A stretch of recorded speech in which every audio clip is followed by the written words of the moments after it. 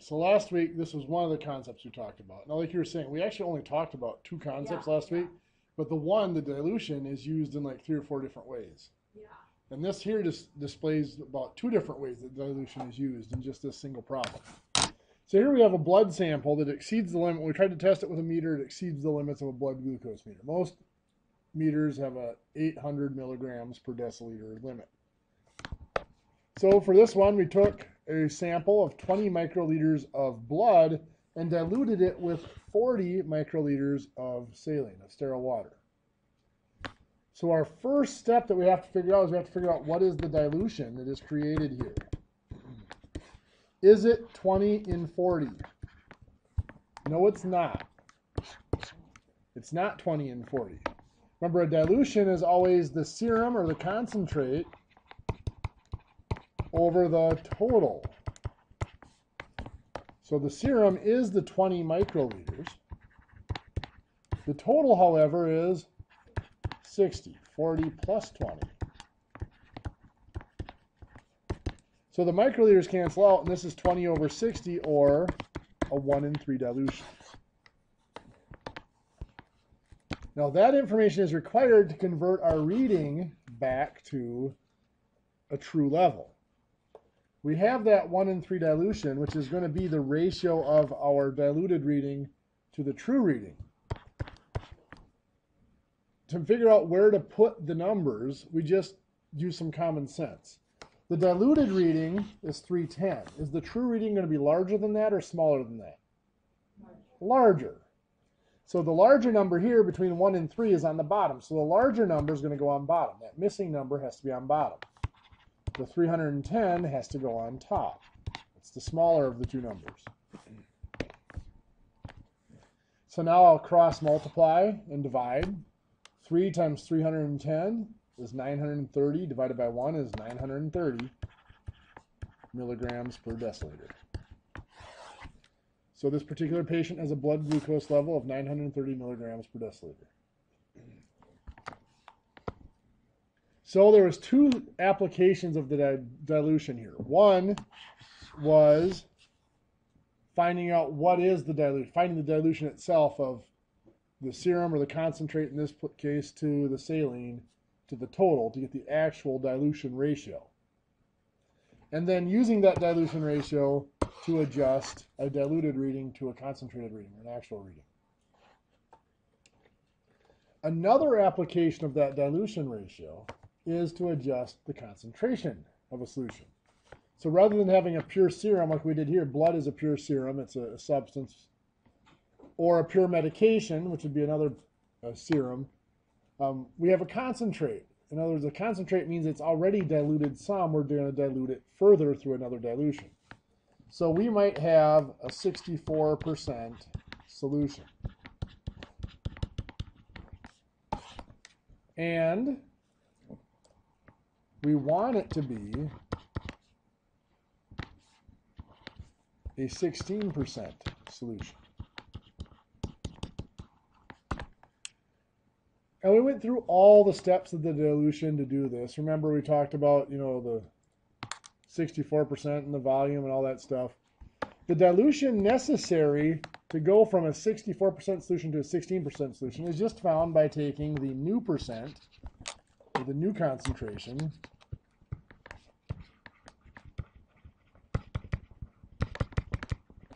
over the old or the original concentration.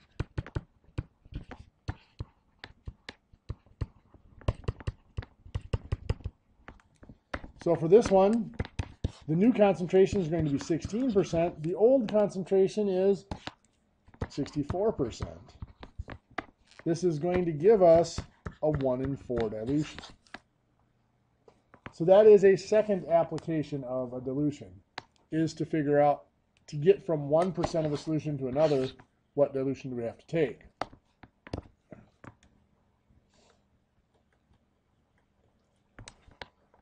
We might have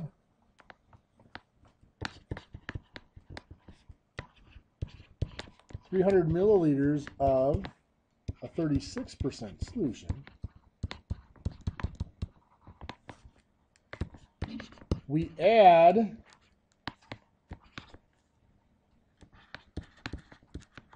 900 milliliters of neutral solution or sterile water to it.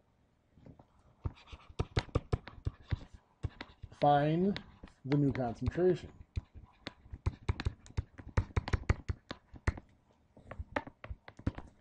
Well, the dilution, remember, the dilution itself is the concentrate or the higher concentrated solution over the total. Well, how much of the concentrate or the higher concentrated solution do we have here? 300 milliliters of the 36%. What is the total volume after we dilute it? So again, we added 900 milliliters to the original 300 milliliters. So I have 900 plus 300 milliliters. So the milliliters cancel out. This is 300 over 1200, which are reduced. We can divide that down to a 1 in 4. Perfect. Now that we know it's a 1 in 4 dilution, we can figure out our percent. The 36% is the old, the original concentration. The diluted concentration is going to be smaller, so the smaller number will be on top. So the 36% goes on bottom. And we will cross multiply and divide. 1 times 36 is 36 divided by the 4 gives us 9%. So after adding the 900 milliliters of NS, that solution is now diluted down to 9%.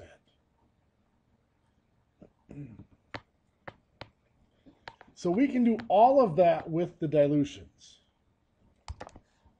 But there was a shortcut that we learned in the last half hour last week that speeds this up a little bit. Rather than going through all the different steps of the different forms of the dilution to find that new concentration.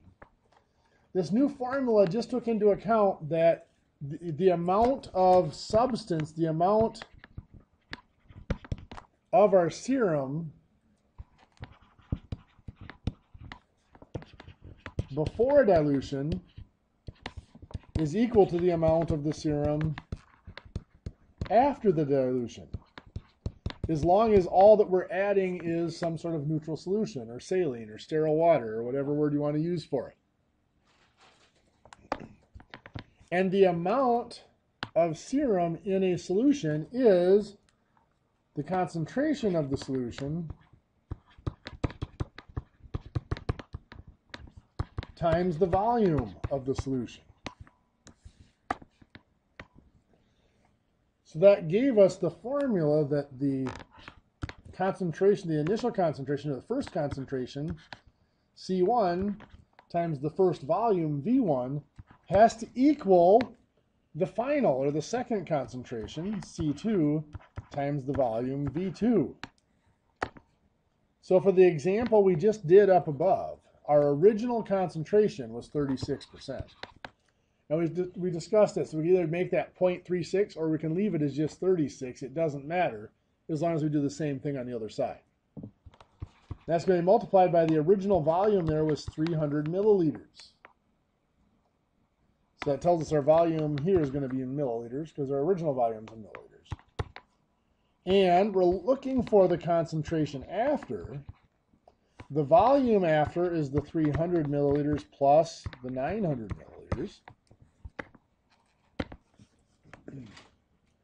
So 3,600 times 3, or 36 times 300 is what, 10,800, I believe? Equals C2 times 300 plus 900 is 1,200. And we divide by the 1,200. C2 equals 9. So that's 9%. I prefer to leave my concentrations as percents, like this 36. That way, when I get my concentration, my answer, it's already a percent. I don't have to move decimal points. So let's do another example of this.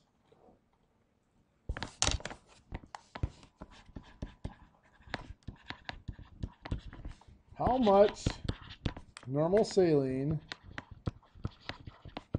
needs to be added to 120 milliliters of 48% solution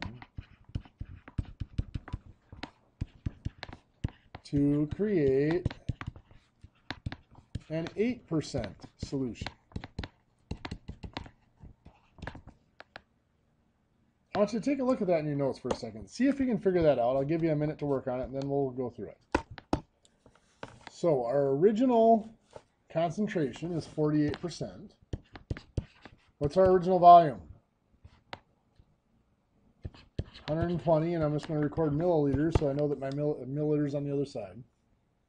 On the other side, do I know either the, the concentration or the volume? I know the concentration is 8, so that means I must be looking for the volume. So I'm going to multiply the 48 times the 120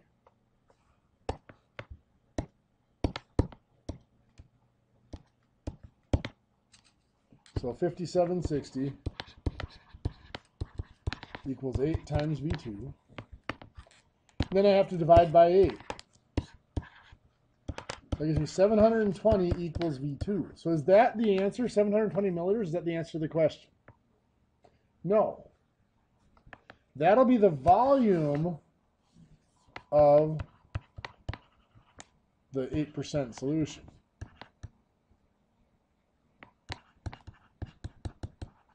But I didn't I wasn't asked the volume, I was asked how much saline needs to be added to that. We had 120 milliliters. To get to 720, we are adding 600 milliliters of saline. Does that make sense? So that is the one thing we do have to be careful of with that formula is it doesn't give us the amount of saline to add, it gives us the final volume. So if we're looking at that saline that's added, we have to do some subtraction. The other side of that that we have to be careful of, let's say we have 180 milliliters of 30% solution.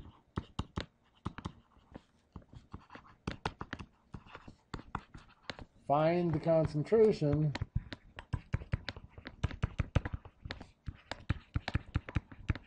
after we add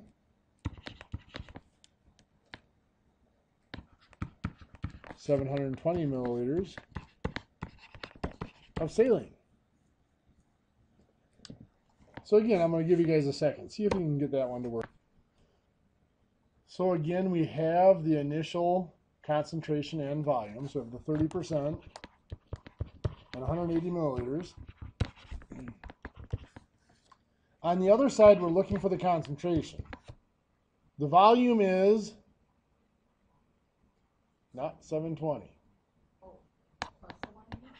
Yeah, 720 plus 180. We added 720 milliliters of saline. So 720 plus the original 180 is 900 milliliters. So 30 times 180 is 5,400 is C1 times 900. We're divide by 900.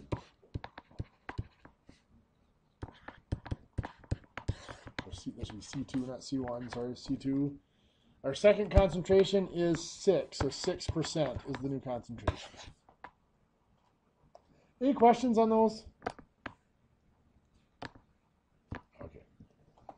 So we've talked about the concentrations. Let's actually look at defining the concentrations a little bit more.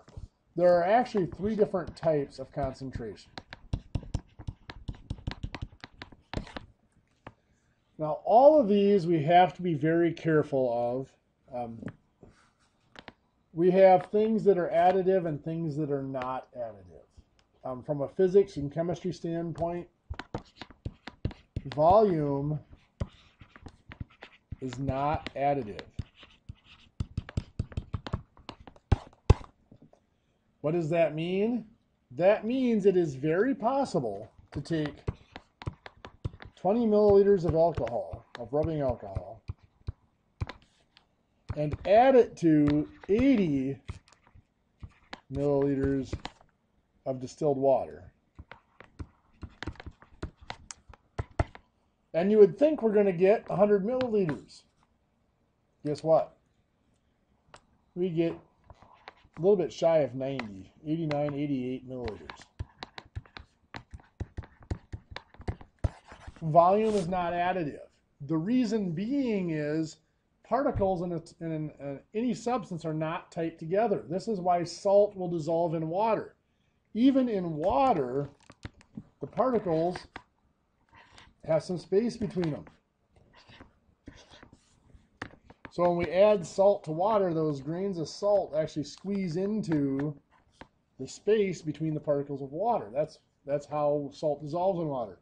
And that's why that you keep adding salt to the water. Eventually it stops dissolving and it'll settle to the bottom because all those spaces get filled up.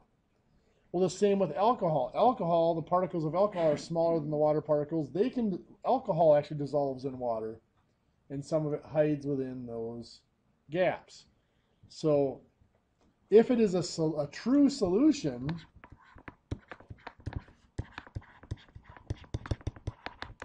a true solution meaning, means that once it's in there, it'll never fall out. If you put salt and water, a little bit of salt and water so that it's not saturated, so that the salt dissolves, it'll sit there forever and that salt will stay dissolved in that water and it will not fall out unless you do something like heat it or shake it or some something to stimulate that salt to fall to the bottom. So if it is a true solution, its volume is definitely not additive. Now there's something called a suspension.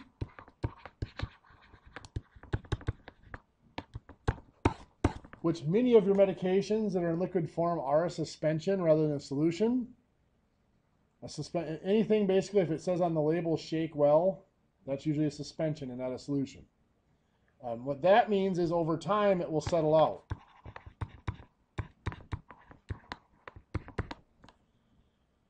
Um, even a suspension will do this to some extent, but not nearly as extreme. I mean, there is a certain amount of salt you can add to water and it will not increase the volume at all. A suspension will always increase the volume, but usually not not the full to the full amount. So we have to be careful with volume. Just because you add, like we said, 20 milliliters to 80 milliliters does not mean you get 100 milliliters total. What is additive, though, is weight and mass. We discussed the differences between weight and mass in the last unit, and the fact that weight is actually a measure of force, uh, the force of gravity on an object, and mass is a measure of the amount of matter within an object, and that in the standard system, we tend to measure weight, which is measured with pounds. Um, in the metric system, we tend to measure mass, which is our grams and kilograms. And there are units of mass in the standard system. Um, the unit of mass in the standard system is actually the slug. Uh, many of you have probably never heard of that term, or if you have heard that term, you heard it referred to in such a way you didn't realize it was actually a unit. Um, one pound or one slug is actually 32 pounds on Earth. So one slug of matter will weigh 32 pounds. Um, in the metric system, of course, we have the kilograms and grams are units of mass. unit of force or weight in the metric system is in Newton. Now, because gravity is constant on Earth pretty much, we tend to use mass and weight interchangeably, as we discussed. So we convert kilograms to weight, even though they're actually two different measurements. We're, we're converting a mass into to pounds, which is weight, but we still accept it. But anyway, mass and weight are additive. If we add 7 ounces to 2 ounces, we're going to get 9 ounces. Now be careful with this. That's ounces, not fluid ounces. Remember, a fluid ounce is a measure of volume, not weight. Volume is not necessary. A fluid ounce is defined to be the volume of one weight ounce of water. And of course, mass is additive. If I have 70 milligrams and I add that to 130 milligrams, I do get 200 milligrams. So if I'm talking about mass or weight, it is additive. So the point of all that is looking at our concentrations. Um, our first form of a concentration is weight in weight. W slash W. That stands for weight in weight concentration. That term was much more descriptive before the medical field switched to the metric system because weight and weight, we were talking about ounces or drams in ounces and drams or grains in grains. Um, now that we've switched over to the metric system, technically it should be mass and mass because we're talking about grams and milligrams. But let's just say that we have, let's say, um, put it this way, let's say 80 milligrams of solution contains 16 milligrams of our medication, of our serum. So that means that concentration is 16 milligrams in 80 milligrams. What is that going to be out of 100? 16 times 100 divided by 80 is 20. So that is a 20% solution. So a concentration of 20%.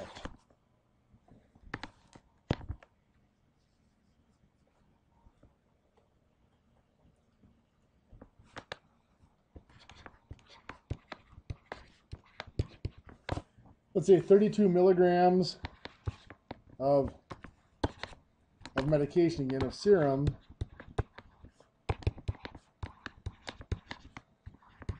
is added to 96 milligrams of NS. If we're asked to find the weight and weight concentration.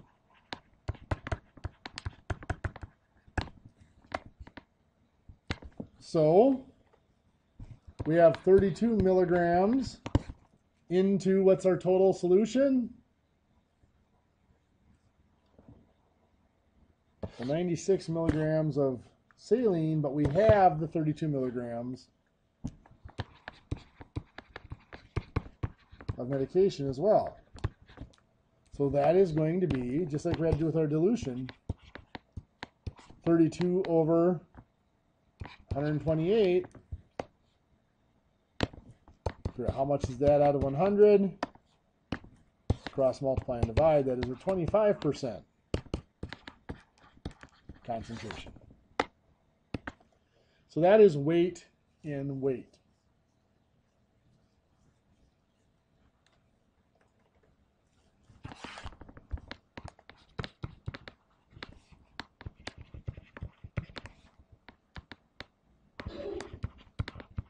So we'd reverse that and ask how much serum or how much medication is in 60 milligrams of a 30% weight and weight concentrated solution.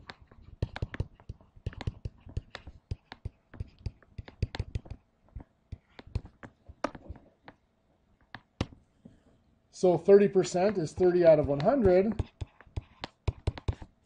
The 60 milligrams represents the total solution, so that's going to go on bottom. Cross multiply and divide. 30 times 60 is 1800 divided by 100. That's 18 milligrams of serum, of medication.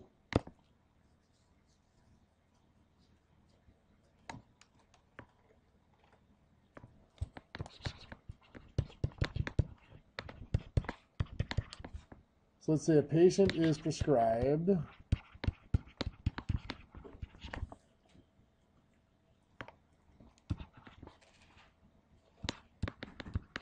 fifty-one milligrams of medication.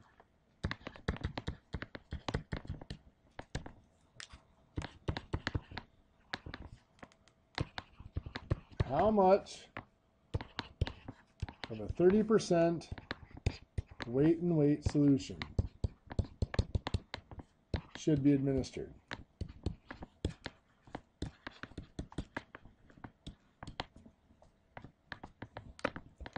This is just kind of the opposite of the last problem. It's a 30%, so it's 30 out of 100. But now we have 51 milligrams of the medication is what's desired. So that goes on top. And we want to know how much total solution needs to be administered to get that 51 milligrams. So 100 times 51 divided by 30 is 170 milligrams. So now in these last two problems, does everybody see where the 18 milligrams and the 170 milligrams are coming from once the problem is set up? Everybody's okay with the cross, multiply, and divide? Okay. So in the next question, does everybody see why we're putting the numbers where we are here? The percent, of course, 30% is always 30 over 100. But then why does the 60 go on bottom? Because that is the total volume or total weight of the solution here. So that goes on bottom. Here, the 51 goes on top because that's just the weight of the medication or the serum. So we had to put that on top. We were looking for the total volume.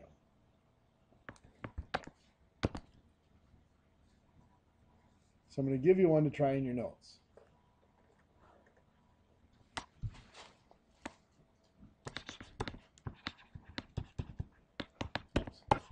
Let's do this.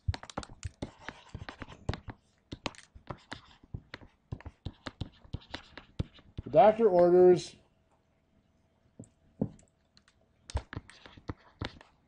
sixty-four milligrams of medication.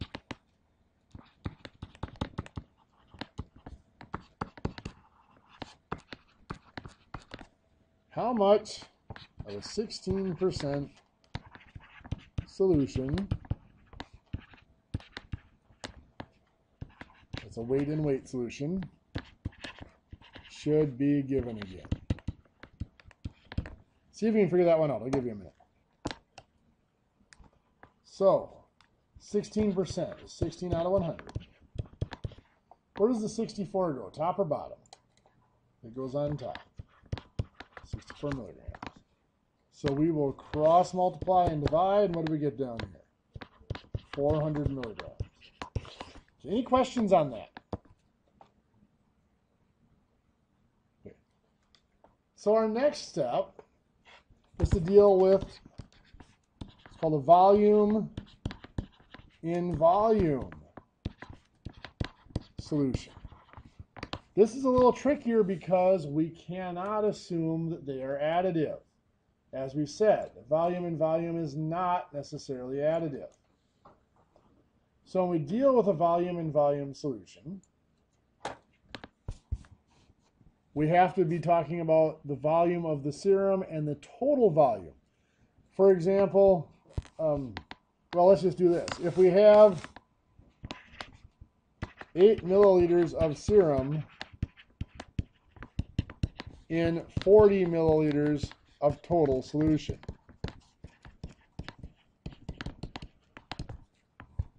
The concentration is going to be 8 milliliters in 40 milliliters.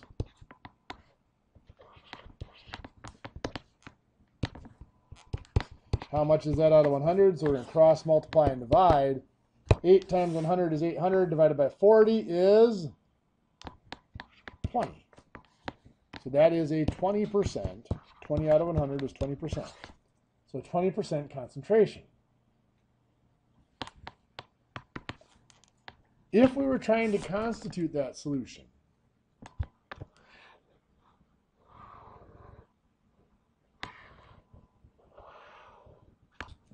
and we put 8 milliliters of serum into a container, into whatever we're going to use to measure it with. Would we add 32 milliliters of saline? Not necessarily, because volume is not additive. What we would have to do is we know we want 40 milliliters total volume here. We would just keep adding saline until we got up to that point. Um, most likely more, well, not most likely, it would definitely be more than 32 milliliters total added. So when we're talking about volume and volume, we cannot take the amount of medication plus a certain amount of saline and say that that's the total volume because it just doesn't work that way. Bless you. But it does still work that we can find our amount of medication from the total volume if we know the percent. So if we uh, have a doctor that orders, oh, let's see here.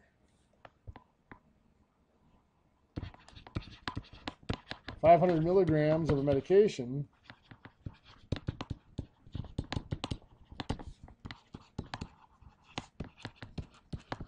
How much 25% volume and volume solution. Oops, that should be milligrams, that should be milliliters, sorry. Doctor orders 500 milliliters of medication. How much of a 25% volume and volume solution should be given?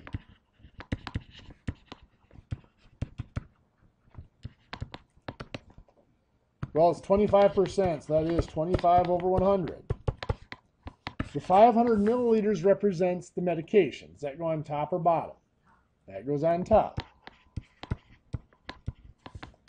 So we will cross multiply and divide. 100 times 500 is 50,000. Divided by 25 is going to be 2,000 milliliters of medication to administer.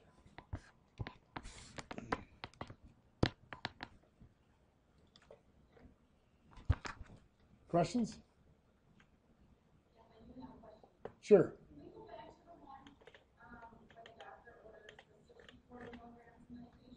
Yep. Yep.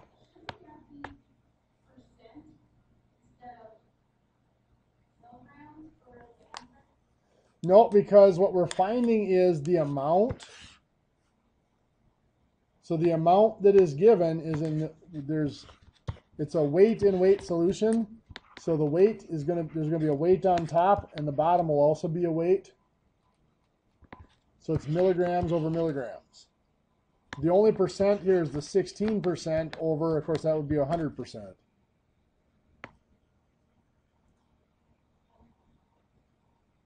When it's a weight and weight solution, the weight is always over another weight. Just like this one up here, it was 51 milligrams over 170 milligrams.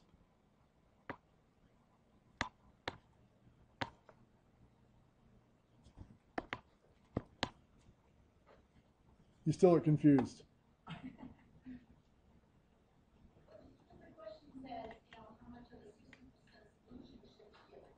Uh, sure. Yeah. That would be just like asking how much morphine should be given. The 16% is just the name of the solution.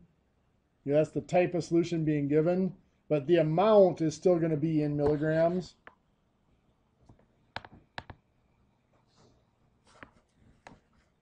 Just like with this example here, it's a 25% solution, but since it's volume and volume, the amount of it we give is still measured in milliliters. Okay? Does that help at all?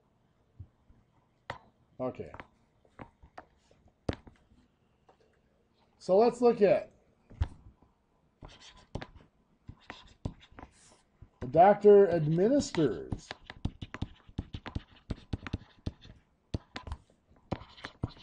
eight hundred milliliters of a 13% volume and volume solution.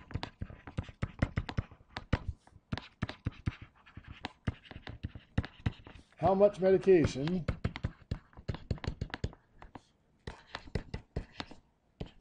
did the patient receive?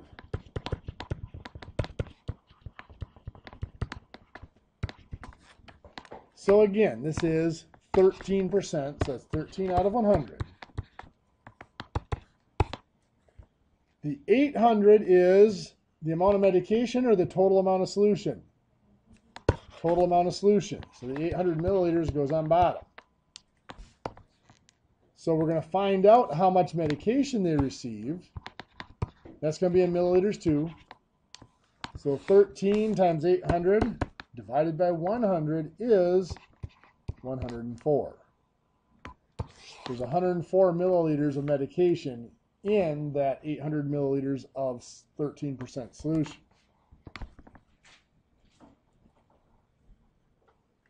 I'm to have you guys try one on your own.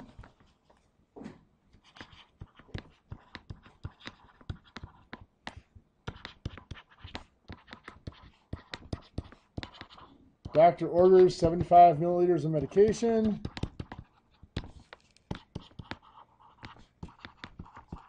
How much 15% solution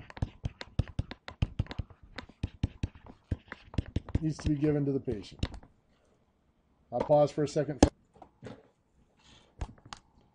So, 15% solution. So 15 out of 100. 75 milliliters, top or bottom? top. It's the amount of medication, so it goes on top. The amount of solution is going to be on bottom. We cross multiply and divide. 100 times 75 divided by 15 will give us 500 milliliters. So you would administer 500 milliliters of solution. Okay, the third type of concentration we have is a little bit tougher to deal with, and that is a weight in volume solution.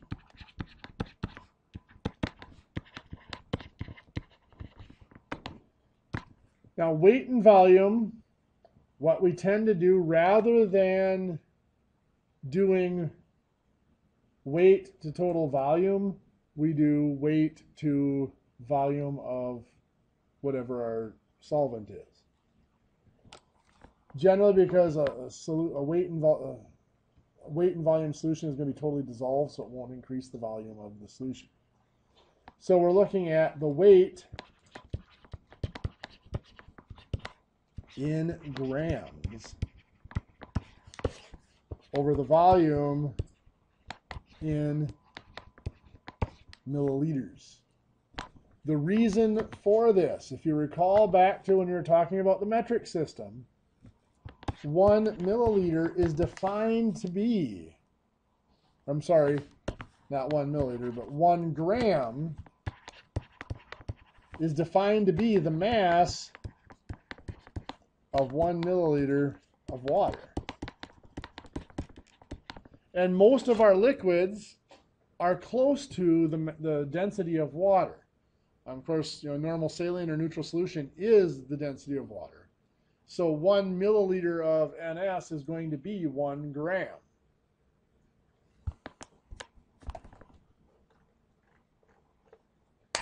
So if we have 8 grams of medication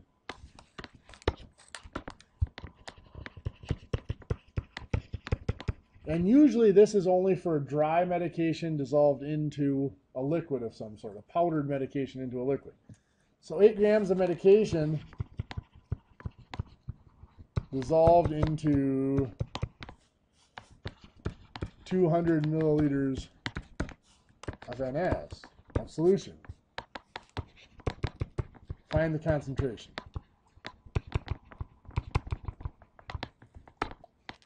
Well, this is 8 grams in 200 milliliters. And since it is grams in milliliters, we can do our weight and volume solution. So 8 times 100 divided by 200 is going to give us 4 out of 100, or a 4% weight and volume concentration.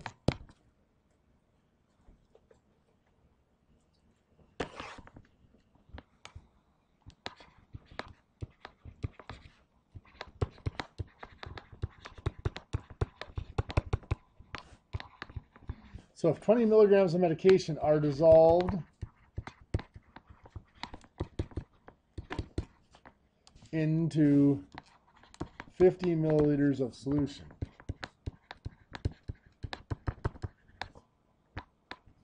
find the concentration.